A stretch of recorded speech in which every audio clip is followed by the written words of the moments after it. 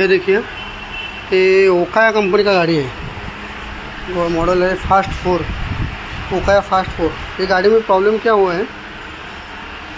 Hall sensor का problem हुआ है। कस्टमर को भी मालूम है हॉल सेंसर का प्रॉब्लम हुआ है।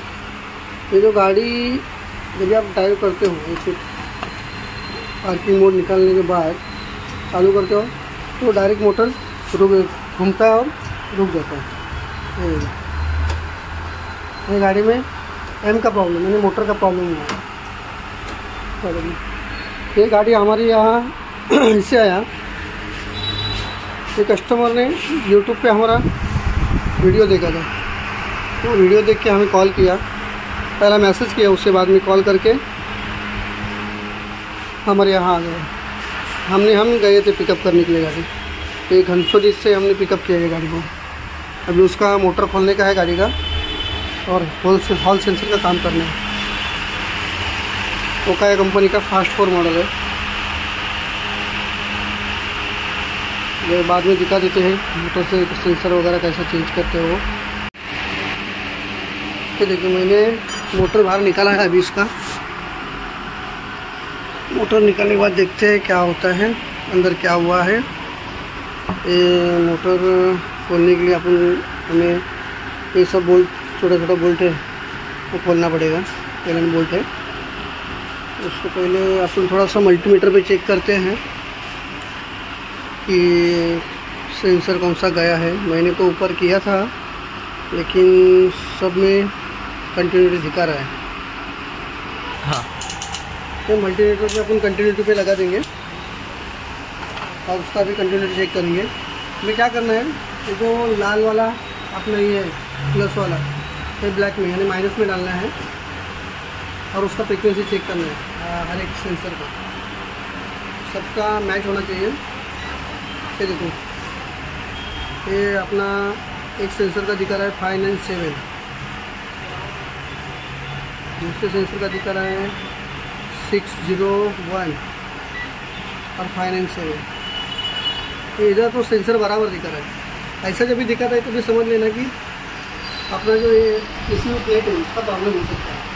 तो पी प्लेट अपन को चेंज करना पड़ेगा।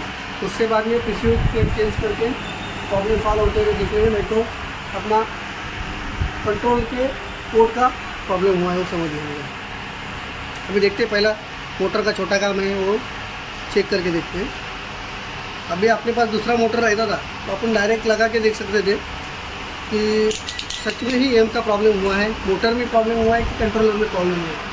ये तो अपना फाइंड आउट हो। जाएगा लेकिन इसलिए यहाँ पे पहला ये रेडी करके तो मोटर अपना कंट्रोल का क्या प्रॉब्लम है वो देखना पड़ेगा। उससे पहले आप को पूरा वायर चेक करना पड़ता है।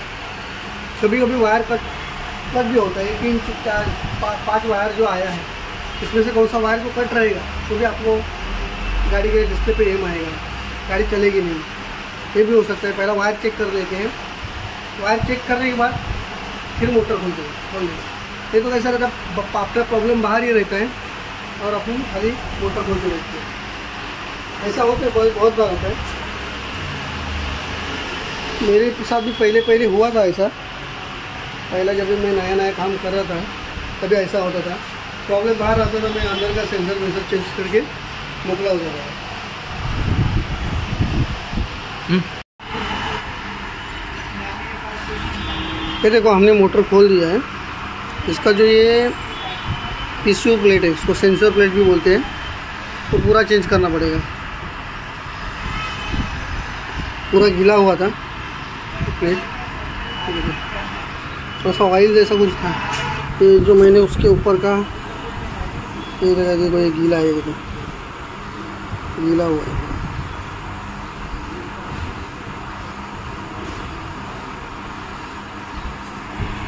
ये पूरा चेंज करेंगे तो शायद प्रॉब्लम सॉल्व हो सकता है। देखेंगे सॉल्व कर मैं बदल देता हूँ। सेंसर प्लेट बोलते हैं टिश्यू प्लेट बोलते हैं तो चेंज कर देता हूँ मैं। देखिए हमने सेंसर प्लेट उसका चेंज किया है, नया भी लगा दिया, और ये अपना पुराना वाला सेंसर प्लेट है। थोड़ा सा टूटता फूटता है, लेकिन आता है। देखिए ये सेंसर प्लेट है। हमने निकाल दिया है। अभी देखते हैं सक्सेसफुल होता है या नहीं। मेरे हिसाब से नाइन्टी नाइन परसेंट तो सक्सेसफुल हो जाएगा। देखते हैं गाड़ी पे लगा के। मैं पैक करता हूँ मोटर और गाड़ी पे लगा के देखता हूँ और आपको भी दिखाता हूँ। मोटर पैक करके अभी मोटर गाड़ी पे लगाया है। अभी अपन को ट्रायल लेना है। कि अपना काम सक्सेसफुल हुआ या नहीं है तो चालू करो। डिस्प्ले लाइट हो गया। पार्किंग निकालो। गाड़ी पे किधर एम वगैरह नहीं आ रहा है। आणि हो गया, चालू हो गया गाड़ी। ये देखो फुल स्पीड से भाग रहा है अभी। चालू हो गया। अपना काम सक्सेसफुल हुआ है। सेंसर प्लेट बदल दिया। काम डन हो गया अपनी गाड़ी का। जैसे चाहिए वैसा गाड़ी अभी भाग रहा है आपका सेवेंटी सेवन का टॉप स्पीड ले रहा है। और पूरा गाड़ी पैक करके कस्टमर को दे देंगे।